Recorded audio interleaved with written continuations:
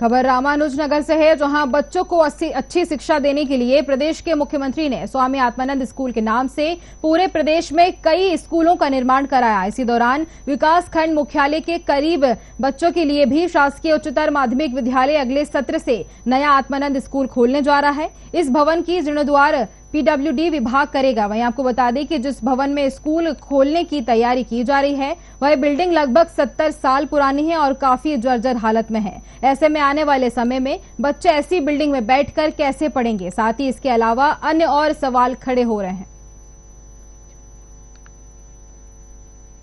पेचिंग का काम चल रहा है। यहाँ पे होना है प्लस्तर होना है सीट चेंज होना है अनुमानित पच्चीस के आसपास। पच्चीस जी जी जी। इसमें क्या सच्चाई है? गिर रहा है दीवार। गिर रहा है ना? अब वैसे सुरक्षित तो रहेंगे भी और देख तो रही हैं। पीडब्ल्यू डी विभाग से है शायद। छत्तीसगढ़ प्रदेश के मुख्यमंत्री भूपेश बघेल प्रदेश के बच्चों को अच्छी शिक्षा देने के लिए पूरे प्रदेश भर में स्वामी आत्मानंद स्कूल खोल रहे हैं। इस स्कूल में गरीब तबके के बच्चे जाकर के पढ़ते हैं। ऐसे ही उनके द्वारा और जगह जगह पर भी स्वामी आत्मानंद स्कूल खोला जा रहा है। इस वक्त मैं जहाँ पर खड़ा हूँ, वो है शासकीय उच्चतर माध्यमिक विद्यालय रामानुजनगर जहाँ पर आने वाले सत्र पे एक नया आप लोगों को स्वामी आत्मानंद स्कूल देखने को मिलेगा। मैं आपको बताऊँगा यहाँ पर कि किस प्रकार से पीडब्ल्यूडी विभाग के अधिकारी जो मुख्यमंत्री का सपना है कि यहाँ पर बच्चे अच्छे से पढ़ाई करें, अच्छे से उनका एजुकेशन हो, सुरक्षित रहें, अच्छे से रहें, स्वच्छ वातावरण उनको मिले, उस पर किस प्रकार से पीडब्ल्यूडी विभाग के अधिकारी पलिता लगा रहे हैं, वो लोग कोशिश कर रहे हैं। देखिए, मैं आपको दिखाऊँगा, ये जो आप लोग, मैं अपने कैमरामैन को बोलूँगा था बिल्डिंग को दिखाएँ। ये जो बिल्डिंग है, देखिए, इसमें आने वाले सत्र पर स्वामी आत्मानंद स्कूल यहाँ पर खुलने वाला है। का सबसे पुराना स्कूल है और इस स्कूल में बात करूँ मैं तो यहाँ के जितने भी जनप्रतिनिधि हैं बड़े बड़े जनप्रतिनिधि हैं, वे लोग इस स्कूल में पढ़े हैं और आज इस विधानसभा का नेतृत्व कर रहे हैं देश। इस, यह बिल्डिंग उन्नीस सौ बावन से बना है। आज इसको अगर बात करें, काफ़ी साल हो गए हैं। यहाँ पर अभी आने वाले सत्र में स्वामी आत्मानंद स्कूल यहाँ पर खुलने वाला है। आप लोग देखिए यहाँ पर कि पीडब्ल्यूडी विभाग के जो इंजीनियर हैं, वे लोग किस प्रकार से यहाँ पर भ्रष्टाचार को अंजाम दे रहे हैं। इतने पुराने स्कूल पे देखिए आप लोग यहाँ पर इसका रिन्यूअल का काम करा रहे हैं। लगभग अट्ठाईस से तीस लाख रुपये का यहाँ पर ये बिल्डिंग इन लोग रिन्यूअल करा रहे हैं यहाँ पर। आप देख सकते हैं कैमरामैन को बोलूँगा कि वो दिखाएँ यहाँ पर कितना जर्जर ये बिल्डिंग हो चुका है। कैमरामैन को बोलूँगा था तो जूम करके दिखाएँ, कितना जर्जर बिल्डिंग है देखिए। इस बिल्डिंग को इन लोग रिन्यूअल कर रहे हैं और यहाँ पर जब छोटे छोटे बच्चे आएँगे, आने वाले सत्र पे पढ़ाई करने के लिए आएँगे तो उनका क्या भविष्य होगा, आप लोग समझ सकते हैं। आपको बताऊँ मैं कि इस बिल्डिंग का जब इन लोग रिन्यूअल का काम कर रहे हैं तो जब ये दीवार का ये लोग प्लास्टर को हटा रहे हैं तो वहाँ पर से दीवार गिर जा रहा है।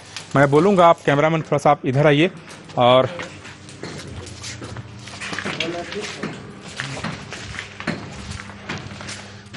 ये देखिए, मैं इस रूम में हूँ। यहाँ पर ये जो आप लोग देख रहे हैं ये दीवार इसका जब ये लोग वर्कर लोग यहाँ से जब प्लास्टर छुड़ा रहे हैं तो पूरा सीधे अगर एक जगह का प्लास्टर छुड़ा रहे हैं तो पूरा भर भरा करके पूरा प्लास्टर गिर जा रहा है।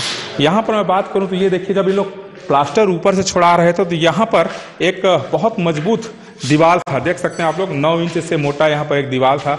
जैसे ही लोग इस प्लास्टर को छुड़ा ही पूरा यहाँ पर का दीवार भर भरा करके नीचे गिर गया।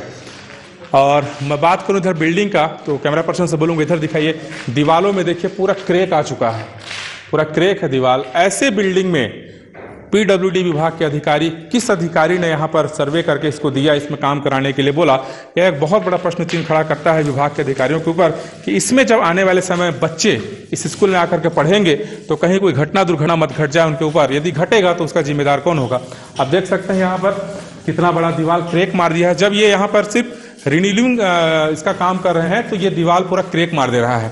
ऐसे में बहुत बड़ा सवाल खड़ा होता है कि बच्चे जब यहाँ पर नए सत्र में आकर के, यहाँ पर छोटे छोटे बच्चे आकर के पढ़ाई करेंगे तो उनके भविष्य के साथ यहाँ पर क्या खिलवाड़ नहीं हो रहा है?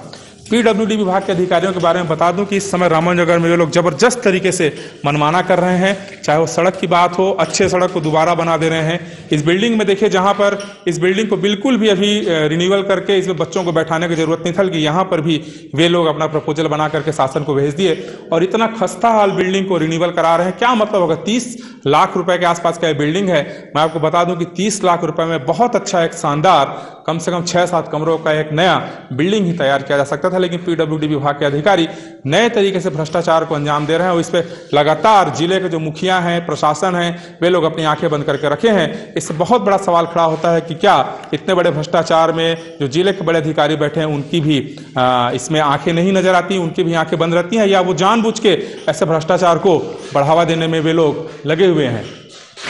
आने वाले समय में जब यहाँ पर मैं बोलूँगा थोड़ा सा आप इधर आइए कैमरा पर्सन को बोलूँगा कि ये देखिए यहाँ पर, ये दीवारें क्रेक मार चुकी हैं। यहाँ पर आप देखिए, ये हाँ।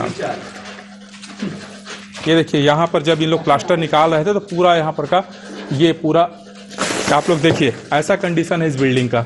इसको रिन्यूअल करके इन लोग नया बिल्डिंग यहाँ पर तैयार करना था इन लोगों को आत्मानंद स्कूल के लिए, लेकिन इसी को करके इन लोग सिर्फ़ फॉर्मेलिटी अदा कर रहे हैं। अब आने वाले समय में देखना होगा कि प्रशासन इस खबर चलने के बाद इस पर कोई संज्ञान लेता है या नहीं? या आने वाले समय पे यदि इसमें बैठने के बाद यदि किसी बच्चों को आ, कुछ नुकसान होता है बच्चों के जान के साथ खिलवाड़ पड़ता है तो उसका जिम्मेदार कौन होगा? वो आने वाले समय में देखने वाली बात होगी। कैमरा पर्सन जयप्रकाश साहू के साथ विकास दुबे साधना न्यूज़ रामानुज नगर। पेचिंग का काम।